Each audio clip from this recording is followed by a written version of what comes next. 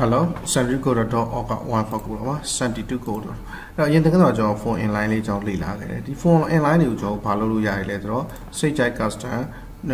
size တက်မှတ်လို့ရတယ် custom size တက်မှတ်တယ်ဆိုတော့ကျွန်တော်ဥမာ phone online ပေါ့နော် phone online မှာကျွန်တော်ပထမ phone input ကိုအော်ဒုတိယ phone input ကိုကျွန်တော် column empty file လို့ထားလိုက်ခြင်းတယ်ပေါ့ sorry file လို့ထားလိုက်ခြင်းတယ်ပေါ့ဟိုလို မပါလဲမပါပါလဲနှလုံးဖြစ်တယ် refresh လုပ်လိုက်ရင်သူကနည်းနည်းရွှေစားနည်းနည်းကျုပ်သွားမယ်နော်တော့တယ်မတိတာအောင်မရှိဘူးကျွန်တော်နည်းနည်းများများပေးပြမယ် phone input class ကို column empty 9လို့ကျွန်တော်ထားလိုက်မယ်နော် refresh လုပ်လိုက်ရင်သူနေရာရှိသွားတယ်နော်ကျန်တဲ့ကောင်နေရာမဆန်တော့သူအောက်ဆင်းပြရတယ်ဥပမာကျွန်တော်နည်းနည်းအကြီးလုပ်ပြရတယ်မရှိဘူးသိအောင်နော်စေးပြီးတော့ကြည့်လိုက် custom sizing ထားလို့ရတယ်နော်စိတ်ကြိုက် okay ဒီ custom sizing ကကြိုက်ဒီမှာ3ခုရှိရဆိုမိတ်ဆွေတယောက်ကို3 3စီချိန်တာတော့4 4စီချိန်တာတော့စသဖြင့်ပြောင်းလဲပေါ့မိတ်ဆွေစိတ်ကြပဲเนาะဒီ form မှာကျွန်တော်တို့ကဗာထည့်လို့ရတယ်လဲဆိုတော့မနေ့ကကျွန်တော်ပြောခဲ့လားမသိဘူးဒီအပေါ်က form မှာကျွန်တော်တို့က refresh เนาะဒီ form မှာကျွန်တော် has source တို့ has warning တို့အဲ့ဒါတွေလည်းထည့်လို့ရတယ်ဒီမှာကျွန်တော် form မှာ h ရ has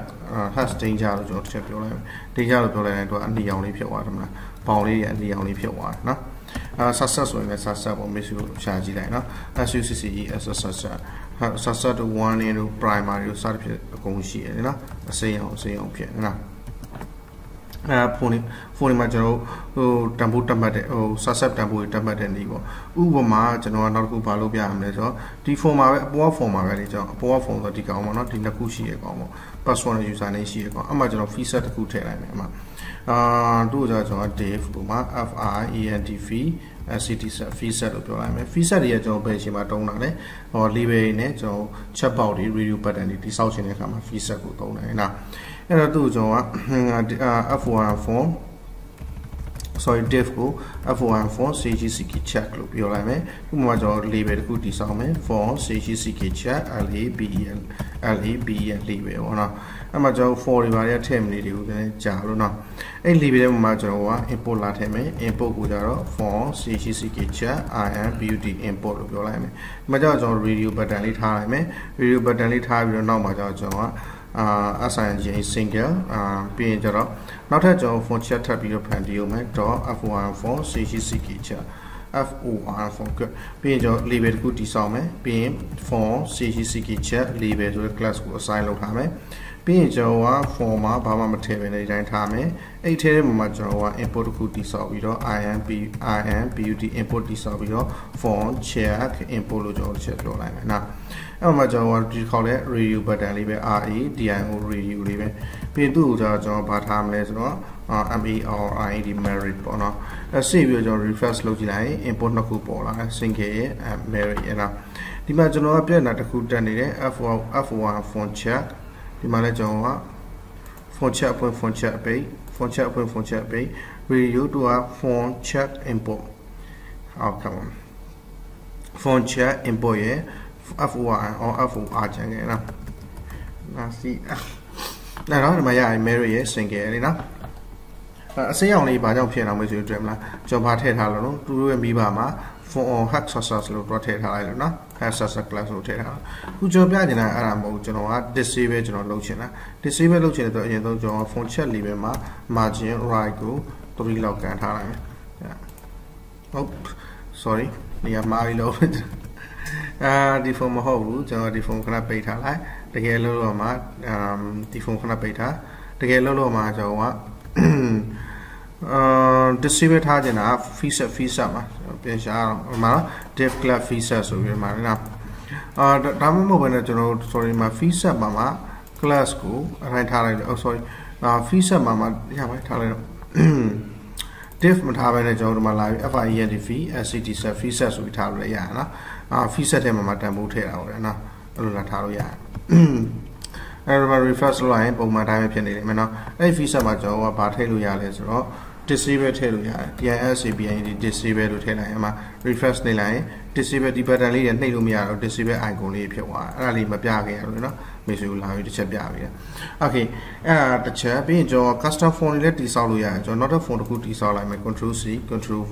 အဲ့မှာလာပြီးတော့ကျွန်တော် font 3လို့တစ်ချက်ပြောလိုက်မယ်ပြီးရင်အထက်ထဲကျွန်တော်အရင် data အဟောင်းတွေတစ်ချက်ဖြတ်ထားမယ် data အဟောင်းဆိုဒီကောင်ပါမယ်ပြီးရင်ဒီမှာလည်းပါမယ် အဲ့နှစ်ခုလုံးကျွန်တော်တစ်ချက်ဖြတ်ချထားလိုက်မယ်ပုံမှန် row တစ်ခုပဲရှိပါဘောနော် custom font တိဆောက်လို့ရတယ် static font တိဆောက်လို့ရတယ်အခုကျွန်တော် static font တိဆောက်မယ်နော် div တစ်ခုပြောက်သွားတယ်အဲ့ div တစ်ခုပြန်ထည့်ရရရတယ်ကဲအဲ့တော့လာပြီးတော့ static font တိဆောက်တော့မယ်ဆိုနံပါတ်1ကကျွန်တော်က font format တိဆောက်လိုက်ရတယ်နော်ပြီးရင်ဒီထဲမှာကျွန်တော်က font group တစ်ခုတိဆောက်မယ် draw f1 font group group font group ရဲ့မှာမှာကျွန်တော် static font တိဆောက်မှာဆိုတော့ static ဆိုတာကျွန်တော်ဟို ပြိတက်က dynamically ထည့်လို့မရတော့ဘူးသူ့လိုလိုအသေးရှိနေမဲ့ data တွေเนาะအဲတော့ကျွန်တော် label တစ်ခုတိဆောက်လိုက်မယ်ဘာမှမဟုတ်ကျွန်တော်ကတန်ဖိုးဘာမှမထည့်ထားဘူးအာတူကျွန်တော် class မှာ co column empty ကို2လောက်ထားလိုက်မယ်နော်2လောက်ထားပြီးတော့ဒီမှာကျတော့ကျွန်တော်က name လို့ပဲပြောထားမယ်ဒါပေမဲ့ name ကိုအဖြစ်ကိုမပေးဘူးကျွန်တော်ကအသေးထားမှာเนาะအဲ့မှာကျွန်တော်ဟိုတန်ဖိုးတစ်ခုထည့်မယ်ဆိုရင် div ကိုမှ column empty ကိုတန်းထားလိုက်မယ်ဘော2ဆိုအောက်ကတန်းမနော် သူတို့မှကျွန်တော်ကလာပြီးတော့ paragraph တစ်ခုနဲ့အာ name ရမောင်မောင်လို့ပြောထားလိုက်မယ်အဲ့လိုမိတ်ဆွေကြည့်လိုက်တော့ကြည့်လိုက်နော်ဒီကောင်ကျွန်တော်ဘာလုပ်အောင်မလဲဆိုတော့ task ကို white ထားအောင်မယ် WHIT white အဲ့လိုမျိုးဒီမှာ refresh နေပြီးကြည့်လိုက်ရင်အာမပေါ်ဘူးဖြစ်နေလေမမောနော်မပေါ်ချင်းရချင်းအကြောင်းရင်းကဘာဖြစ်လို့လဲဆိုတော့မတစ်ချက်ကျွန်တော်ရှာကြည့်လိုက်အဖြူအောင်ပြောင်းပြီးရှာကြည့်လိုက်တော့ static phone control ဖြစ်တဲ့အတွက်ကြောင့်နောက်ဟိုအယောင်မိန်သွားမယ်နော်အယောင်မိန်သွားမယ်ပြီးရင်ကျွန်တော်ဖြည့်ဖြည့်လို့မရအောင် refresh နေလိုက် အော် sorry ကျွန်တော်နေရာပြောင်းပြီးလာနေရာမှားပြီးလာလောက်တော့တော့အာ okay ဒီချင်းရမှန်တယ်ဒီရှင်းမှန်တယ်ဆိုတော့ကျွန်တော်ကဘာကြောင့်လဲ container row ရှိမယ် form ပြီးကျွန်တော်က form group မှာမှာ FORM form group မှာမှာ task ကို white ထားတယ် task ကို white ထားတော့ကျွန်တော်မမြင်ရတော့ sorry အဲဒီမှာ BG ကိုပြန်ထားလိုက်မယ် class ကို BG inverse လို့ထားထားမယ်ပြန်ပြီးတော့ IMV ရဲ့ SC inverse okay ဒီမှာကျတော့ name မောင်မောင်ဒါပေမဲ့မောင်မောင်က input fee မဟုတ်တော့ဘူး input fee မဟုတ်တဲ့အတွက်ကြောင့်ပြေးတက်ကဖြည့်ခွင့်မရှိတော့ဘူးလေနော်ဒီမှာကျွန်တော် row ကတအားကြက်နေတယ်ဆိုတော့လာပြီးတော့ကျွန်တော်က class ကို column empty မှာ column empty မှာ6လောက်ထားလိုက်မယ်နော် refresh နေလိုက်နည်းနည်းရှိသွားတယ်နော်ဒီမှာ name ကမောင်မောင်လဲကျွန်တော်လာနှိပ်ပြီးတော့ပြောင်းမယ်ပြောင်းလို့မရအောင်လေဘာကြောင့်လဲကျွန်တော် paragraph နဲ့တိစောက်ထားတာအဲ့တော့သူက static form control လို့ခေါ်ပါတယ်နော်နောက်တစ်ခုကကျွန်တော်ဒီဘက်2ကိုတစ်ချက်ပြန်သွားလိုက်မယ်နော်2ရှေ့ရတင်နေတာပေါ့နော် မိတ်ဆွေလည်းရှေ့ရတင်နေတာကိုသွားလိုက်ဆိုတော့နည်းနည်းတော့ရှစ်သွားတယ်နော်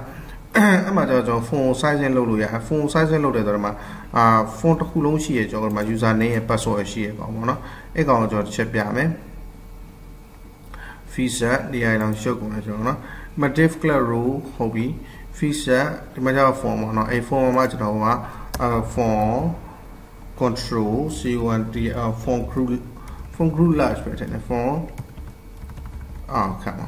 ဒီမှာလာပြီးတော့ချက်ဟို div မှာတစ်ချက်လာပြီးကြည့်မယ်နော် form c1 dr1 control lg လို့ပြီးလိုက်မယ် lg ဆိုရင်အကြီး size လေနော် font size အကြီးဖြစ်ရမှာပြဒီကောင်နဲ့ပူကြီးသွားအောက်က counter size လေနော်အောက်ကကောင်လည်းကြီးရင်ကျွန်တော်လာပြီးတော့ form c1 d c1 dr1 control lg လို့ပြောင်းထားလိုက်အဲဆိုရင်အောက်ကကောင်လည်းကြီးသွားလိမ့်မယ်နော်နောက်သေးခြင်းနဲ့ဆိုရင်လည်းကျွန်တော်ပြန်လာမရှိဘူးဒီကောင်လေးကိုသေးခြင်းတယ်ပေါ့ကျွန်တော်နော်အဲကောင်လေးကအောက်က font ထဲမှာရှိတော့အောက်က font ကိုသွားလိုက်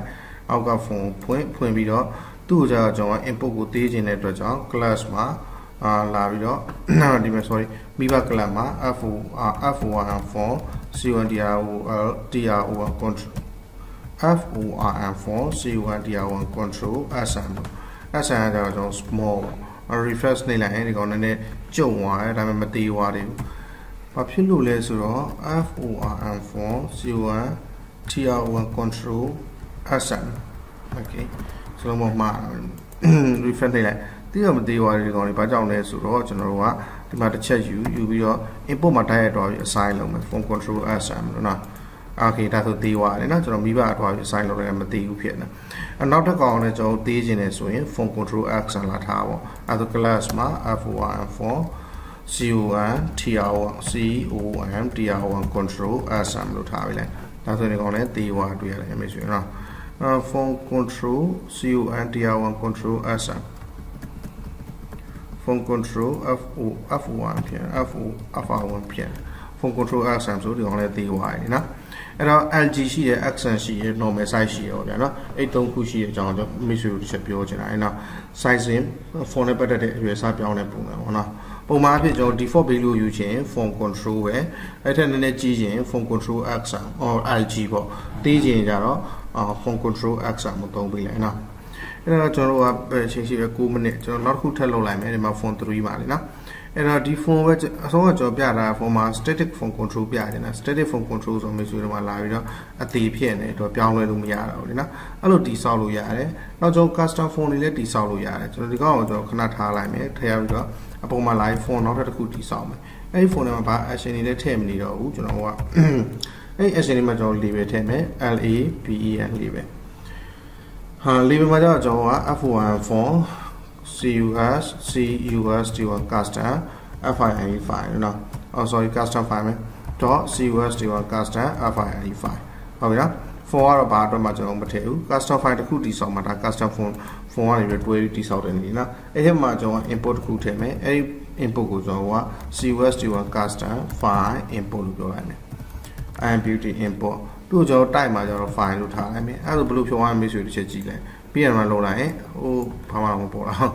CUSD1 custom label class ကို custom file လို့ကျွန်တော်ပြောထားတယ် CUSD1 ပြီး input ကို CUSD1 custom file input လို့ပြောထားတယ်ပြီးကျွန်တော် font ထဲမှာရှိတယ်မှန်ပြီ um okay နောက်ထပ်ကျွန်တော် control တစ်ခုထပ်တိဆောက်အောင်မယ်ဒါစလုံးပေါင်းကြောင်းဖြစ်တာလားဆိုတော့လေစလုံးပေါင်းကြောင်းမဟုတ်ဘူးကျွန်တော်ကအဲ့ဒါမှလာပြီးတော့ span တစ်ခုကျွန်တော်ထပ်တိဆောက်လိုက်မယ် import ထဲမှာမယ်เนาะ spn span cus01 custom file c1 dr1 control လို့เนาะ custom file control ဆိုပြီးတော့ကျွန်တော်ကသူ့ကျွန်တော်က upload လို့ပဲပြောလိုက်မယ်เนาะမြင်တောင်းလို့ upload upload လို့เนาะအဲ refresh တစ်ချက်နှိပ်လိုက်မယ်ကျွန်တော်ကအာမှာကိုမြင်လာတယ်ဆိုတော့ refresh ကမဖြစ်ဘူးပေါ့မဖြစ်တော့ကျွန်တော်မမြင်ရတာเนาะဒီကောင်လေးเนาะသူက နောက်တစ်ခုတော့ဒီထားတူ custom file control လို့ချက်ပြောလိုက်မှဒီကောင်ဒီထဲမှာဝင်လာတယ်เนาะအဲကျွန်တော်မှလာပြီး browse တစ်ချက်နှိပ်မယ်ဆိုရင်ဓာတ်ပုံတွေကို browse လုပ်လို့ရပြီเนาะ